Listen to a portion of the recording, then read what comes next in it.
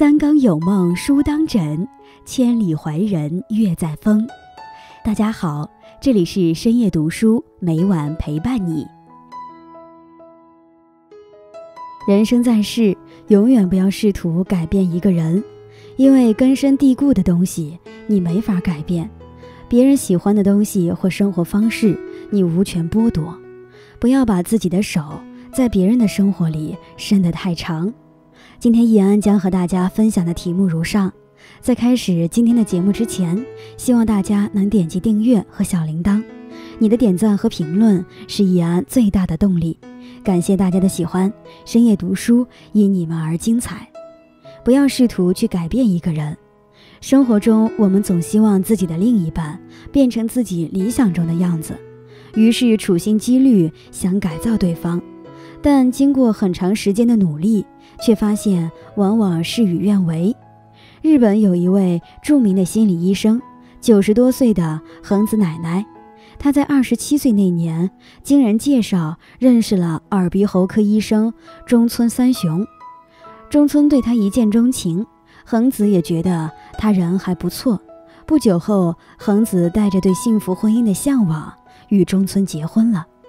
结婚后，恒子才发现丈夫是个嗜酒如命的人。不仅如此，每天下班后，她都会请朋友一起去喝酒，花光所有的工资，家里一点都指望不上她。恒子多次规劝丈夫，甚至以离婚来威胁她，但丈夫每次只是安分几天后，又恢复到从前的样子。反反复复很多次之后，恒子不再规劝丈夫。因为她感觉到自己是在白费力气，既浪费精力又浪费时间，还把自己折磨得精疲力尽。她觉得，既然不能改变丈夫，不如把时间和精力都放在工作上。自从不再规劝丈夫后，她渐渐发现，丈夫其实还是有优点的。虽然他爱喝酒，但人品还不错，为人热情豪爽，做事有担当。虽然他爱花钱，但他内心很善良，经常帮助别人，从不计回报。慢慢的，两个人的感情逐渐好转了。就这样，几十年后，他用自己的经验和亲身经历写出了畅销书《人间值得》。恒子奶奶在手中写道：“不要试图通过改变他人来获得快乐，只是稍微做了些努力。”就不要指望别人的想法和行动会发生改变，用尽千方百计，耗费几年或几十年，想要改变他人，只会让自己陷入麻烦之中。千万不要试图去改变一个人，那样不但得不到自己想要的结果，还会让自己处在痛苦之中，无法自拔。常言道：“江山易改，本性难移。”人的习惯和性格是从小养成的，想要改变难上加难，除非是他自己想要转变，否则谁都无法做到。与其改变别人，不如尊重不同。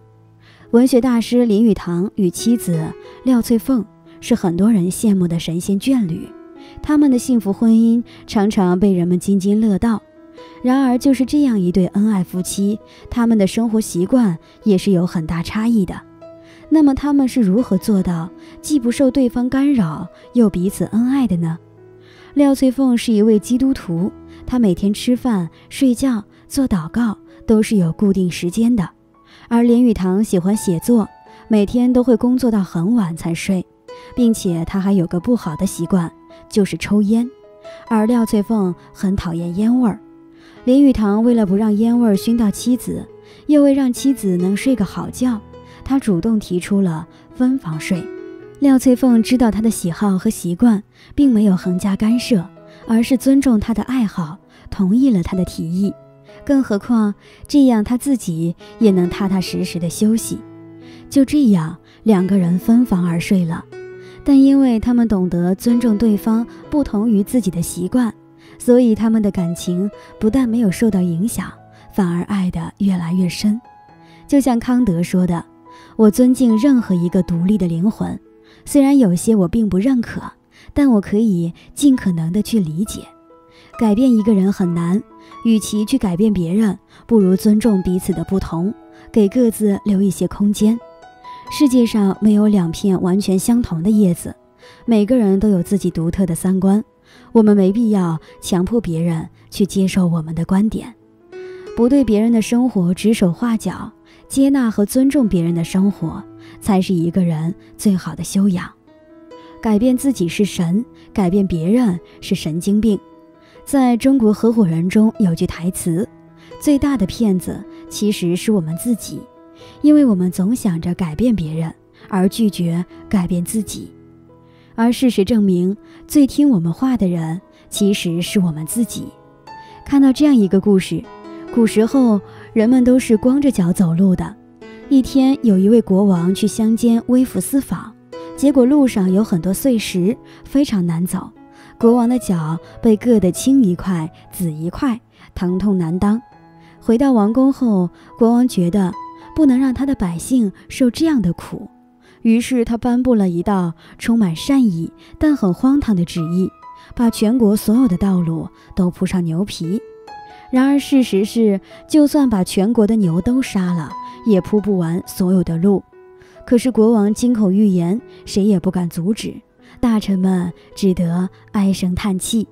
就在这时，有一位大臣站出来，对国王说出了自己的想法：与其劳师动众，牺牲那么多牛。您何不只是用两小片牛皮包住您的双脚呢？一语惊醒梦中人，国王觉得这个主意非常不错，赶忙收回成命，立即采用了这个方法。从那以后，世上就有了皮鞋。当你遇到无法改变的事情时，只要学会先改变自己，你会发现有些事没有你想象的那么复杂，很多问题都会因你的变化迎刃而解。一位大师在大山中修炼几十年，终于练成移山大法。有人好奇，上山想向他请教，拜他为师。大师，请问您是用怎样的神力将大山移开的？我如何才能练此神功呢？大师微笑着回答：“练此神功很简单，只要掌握一点就行了，那就是山不过来，我就过去。”释迦牟尼说过。降服百万大军并不伟大，降服自己才是世上最伟大的人。改变自己是神，改变别人是神经病。世界上有很多让我们难以接受的人和事，如果用自己的想法强行去转变，不但于事无补，反而会让事情变得更糟。不如让自己做个小小的改动，你会惊奇地发现，随着你的变化，你身边的人变了。你的世界变了，一切都变得那么美好。成年人最大的自律就是克制改变他人的欲望。作家黄铜在《总有一次哭泣让人瞬间长大》中写道：“费力去改变别人，不如先试试调整自己的心态。自己改变了，我们做事的方式、思考的逻辑也会跟着改变，人与人之间的相处也会截然不同。”改变往往就会在我们最意想不到的时候发生。不要试图去改变任何人，那样只会让自己渐渐对生活失去希望。与其想要改变别人，不如尊重别人的不同，这样才能做到互相理解、彼此包容。成年人最大的自律就是克制改变他人的欲望。不是所有鱼都生活在同一片海里。不是所有人都与你三观一致，用自己的三观去劝诫别人，不但得不到想要的结果，还会惹来一身麻烦。虽然不能左右他人的想法，但我们可以调整好自己的心态，做好自己，让自己变得更好，才是一切变好的开始。与朋友们共勉。